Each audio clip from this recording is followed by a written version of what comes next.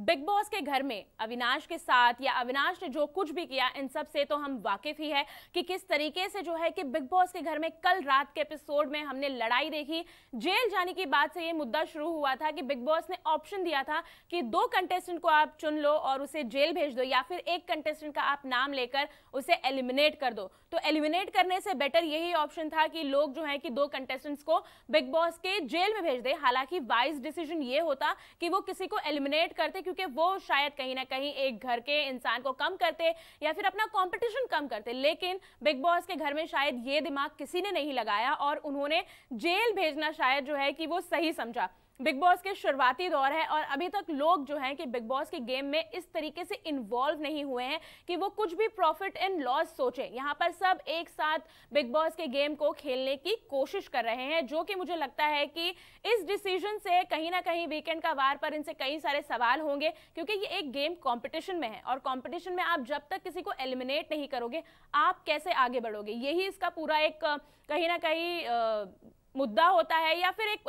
Outcome होता है, लेकिन यहाँ पर ये लोगों ने जेल भेजना ज़रूरी समझा, जहाँ पर अविनाश का जिस तरीके से पूरे हफ़्ते बिहेवियर रहा है, वो किसी की बात सुनते नहीं है, वो किसी की बात मानते नहीं है, वो बात बात पर जाके लोगों को प्रवोक करते हैं, उनके पॉइंट उनको पॉइंट आउट करते हैं या फिर उन पर उंगली उठाते हैं, कहीं ना कहीं वो लोगों को झगड़ा करने के लिए उकसाते हैं। जिस तरीके से घर का माहौल जो है वो बिगाड़ रहे हैं। अब तक बिग बॉस के घर में एक मुझे लड़ाई करता हुआ इंसान नज़र आ रहा था और वो थे रजत दलाल, जो कि हर मुद्दे पर जो है कि बिना बात बहस कर रहे थे। लेकिन कहीं ना कहीं अविनाश ने भी उस चीज़ को अडेप्ट कर लिया और उन्हें लग रहा है कि बिग बॉस के घर में अगर दिखना है तो भाई लड़ाई ही एक मुद्दा है, जो कि उन्होंने लास्ट वीक जो गुंडरत्ना जी ने किया था कि भाई मैं जेल नहीं जाऊँगा, हल्ला मचा दिया था और अब इसी बात को उन्होंने, इसी पैटर्न को कहीं ना कहीं फॉलो करके अविनाश ने कल मुद्दा बनाने की कोशिश की कि भाई, जो तुम सत्रह लोग हो, तुम सत्रह लोग अगर मुझे जेल भेजना चाहोगे तो मैं नहीं जाऊँगा। और इस बात की जो लड़ाई है, पहले अरफीन से हुई, फिर करण से हुई और चूम से हुई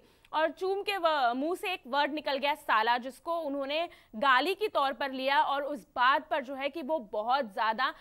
झगड़ा करने पर उतारू हो गए। इतना ही नहीं कि वो अपने आप को कंट्रोल नहीं कर पाए, जिसके बाद जो है कि बिग बॉस को इंटरवीन करना पड़ा और भाई बिग बॉस को बोलना पड़ा कि अविनाश, आप शांत हो जाए और सबको फिर उन्होंने जो है कि हॉल में जमा किया। और अविनाश के इस बिहेवियर पर घर वालों को डिसीज़न लेना था, जहाँ पर ज़्यादातर लोगों ने ये डिसीज़न लिया कि अविनाश को बिग बॉस के घर से बाहर भेजा जाए। भाई, कई लोगों ने तो ये भी स्टेटमेंट दिए है कि अविनाश के घर में रहने से घर की लड़कियाँ जो है वो सेफ़ नहीं है। कहीं ना कहीं ये लड़ाई जो है वो चूम के साथ हुई थी। तो Chum being a female contestant of the house उन्होंने ये भी कमेंट और ये भी स्टेटमेंट पास किया कि भाई अविनाश जिस तरीके से लड़ाई करते हैं या जिस तरीके से वो अग्रेसिव होकर दूसरों के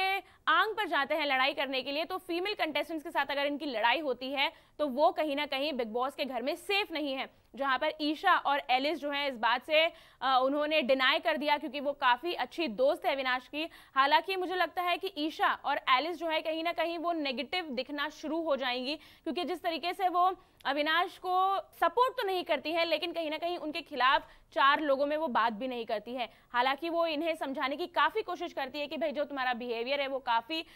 एरोगेंट है रूड है बिग बॉस के घर में नहीं चलेगा, लेकिन अविनाश तो अविनाश है, वो कहा किसी की बात मानने वाले तो ये सारी चीज़ों के बाद जो है कि अब मैं आपको बता दूँ कि बिग बॉस के घर से अविनाश एलिमिनेट नहीं हुए हैं। लाइव फ़ीड में हमने अभी देखा और यहाँ पर उन्हें जेल भेज दिया गया है। मुझे लगता है कि ये कहानी में ट्विस्ट आया होगा टर्न आया होगा, जहाँ बाहर भेजने की जगह उन्हें कन्फेशन रूम में बुलाया होगा और उनसे ये पूछताछ मतलब बातचीत की गई होगी कि भाई, आप जिस तरीके से ये पूरा बिहेवियर कर रहे हो, क्या ये नेशनल टेलीविज़न पर वैलिड है? क्योंकि आप बिग बॉस के घर में जिस तरीके से दिखते हो, आपकी एक पर्सनैलिटी बन जाती है और बिग बॉस का घर सिर्फ़ तीन महीनों के लिए है। बिग बॉस के घर के बाहर भी एक दुनिया है, जिसे मुझे लगता है कि बिग बॉस के घर में लोग आने के बाद भूल जाते हैं, क्योंकि आपको काम करना है, आपको इंडस्ट्री में वर्क करना है। और अगर आप इतना अग्रेशन दिखाओगे तो इंडस्ट्री में कोई भी आपके साथ काम करने के लिए रेडी नहीं होगा। जिसके बाद काफ़ी डिस्कशन के बाद जो है कि अविनाश का एलिमिनेशन जो है कि रोका गया और अब वो जेल में है। और जेल में जाने के बाद मैं बता दूँ कि वो भी वहाँ पर लड़ाई ही कर रहे हैं। मतलब वो कहते हैं ना कि कुछ लोग ऐसे होते हैं, आप उन्हें कितना भी समझा लो, पर उन्हें अगर लड़ाई करनी है तो वो लड़ाई करते ही हैं। और बिग बॉस की जेल में जाने के बाद फिर एक बार जो है उन्होंने खाने पर मुद्दा उठाया। शिल्पा जी के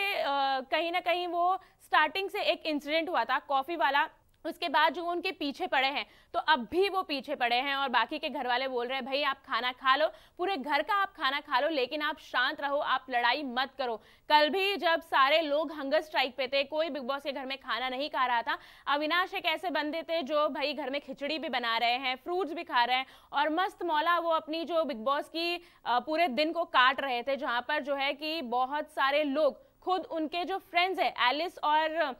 ईशा कहीं ना कहीं इस बात से अपसेट थे कि किस तरीके से वो, कि लोगों की बातों को नहीं मान रहे हैं और अपनी अलग ही ट्रेन पकड़कर वो जा रहे हैं। तो भाई, सबके लिए अगर अविनाश के जो फैंस होंगे, उनके लिए तो कहीं ना कहीं ये गुड न्यूज़ है कि अविनाश बिग बॉस के घर से बेघर नहीं हुए हैं। हमें भी ये बात का पता था कि चलो, अगर वो बाहर चले भी जाते हैं तो वापस बिग बॉस के घर में लौट कर ज़रूर आएँगे, क्योंकि बिग बॉस के घर से अगर कोई बाहर होता है, हिंसा या बहुत ज़्यादा ही कुछ उसने ऐसा कर दिया हो, जिसके बाद उसे लाना मुश्किल है तो वो बिग बॉस के घर में नहीं आता। अदरवाइज़ फ़र्स्ट वार्निंग के बाद अगर हम अभिषेक की भी बात कर ले या प्रतीक की बात कर ले, कई सारे बिग बॉस की हिस्ट्री में ऐसे कंटेस्टेंट रहे हैं जिन्हें बाहर भेजने के बाद वापस बुलाया गया है। तो अब अविनाश ने भी उस हिस्ट्री में अपना नाम दर्ज कर लिया है, जहाँ पर वो बिग बॉस के घर के बाहर जाते जाते बिग बॉस के घर में रह गए हैं, बिग बॉस की जेल में हैं और यहाँ से भी वो काफ़ी हंगामा मचा रहे हैं। तो जो उन्होंने पूरे दो दिन में बिग बॉस के घर में तहलका मचाया है, इस पर सलमान खान किस तरीके से अपनी राय देकर उन्हें डांटेंगे, उन्हें समझाएँगे या फिर कुछ अलग ही हमें सलमान खान का रूप अविनाश के लिए इस हफ़्ते दिखेगा, ये देखना दिलचस्प होगा। लेकिन